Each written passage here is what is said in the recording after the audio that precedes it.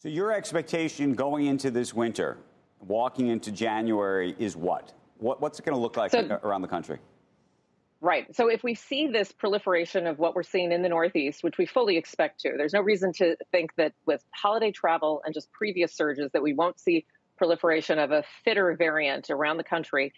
That if, as we walk into January, we will likely continue to see hospitalizations in the over 70 age population, which is what we're seeing in New York, a, a, a sharp increase in that population's hospitalization group, especially because only about one in three of those people are vaccinated with an updated booster.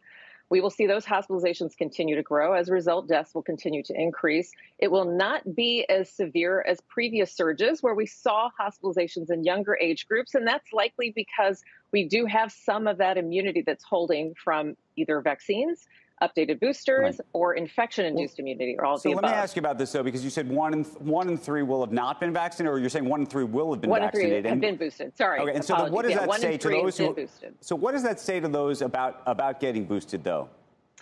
Yeah, so this is, it's hard to kind of pound this uh, even further, but getting boosted matters. We now have multiple real world evidence studies. We don't need just lab kind of hypotheticals, which is what we rested on before with some of the clinical data and preclinical data. We have real world evidence that demonstrates that an updated variant, even in light of some of these variants that are recombinant and new to the United States and new to the world, that we would be able to have better antibody performance with an updated booster, period, plain and simple. So I think that there's no question anymore. And I think that the world is fatigued of hearing this. Right. But as you see the numbers going up, there's a reason well, to sound One of the things alarm. you do hear from some people is that I, have heard, I've heard uh, folks, uh, old and young, say, you know what, not going to get boosted, but you know, if I get it, I'll, I'll, I'll get Paxlovid.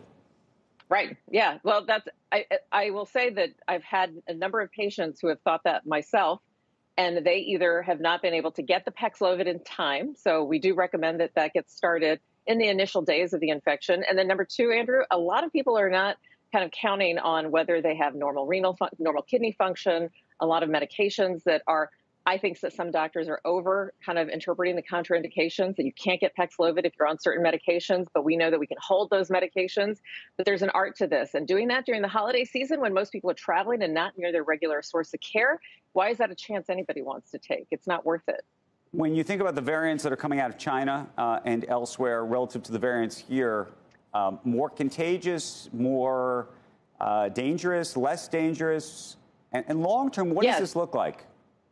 Yeah, the long term is that this virus isn't done with us, and that if we continue to be complacent in 2023, that in the long term, this will come back to bite us. It may be sooner than 2023, but it could be as soon as 2023. In terms of what's happening and unfolding in China, Andrew, a way to think about this is that is a population that is naive. That is a, just an incredible, wonderful petri dish for any virus. So the virus does not need to get fitter or smarter in order to perform well in a population like China's. So, if anything, the United States is the kind of environment where you will likely see more of these immune evading variants develop, meaning, again, we have a domestic problem. We need to keep an eye on what's happening in China for implications across the world. But that just speaks to, I think, what you pointed out earlier CDC, better wastewater surveillance, and doing this on a global scale. We can't keep doing this in a right. patchwork, piecemeal fashion.